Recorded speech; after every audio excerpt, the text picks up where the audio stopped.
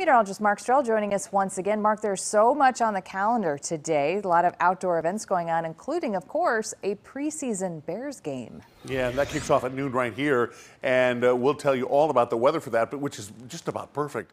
We've got some sunshine today, mild temperatures, and a uh, cool breeze coming in off the lake today, so that'll help at Soldier Field.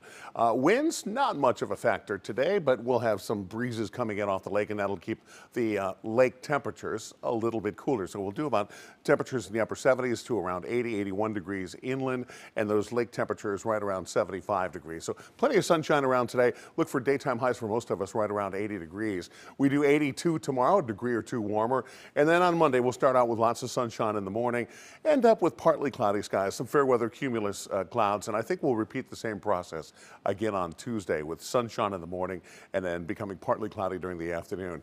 We are uh, virtually uh, cloud free for much of the morning, but we see these clouds zipping through today. Again, some high thin clouds, maybe filtering out the sunshine briefly from time to time, and then more sunshine coming our way again on your Sunday. Just another absolutely beautiful day. Not much in store for us here over the next couple of days. Your forecast looks like this. Mostly sunny skies, less humid. Daytime highs today up to 80 degrees. Tonight, clear skies, cooler. Temperatures in the 50s in the north and northwest suburbs, as cool as 56 degrees. And then in the city, we do temperatures right around 62 degrees. So, Elizabeth, just an outstanding weekend. Yeah, it's going to be great, and we've got more good weather. It's going to linger into Monday and Tuesday as well. So, really, some good stuff coming our way. All right, great. Thank you, Mark.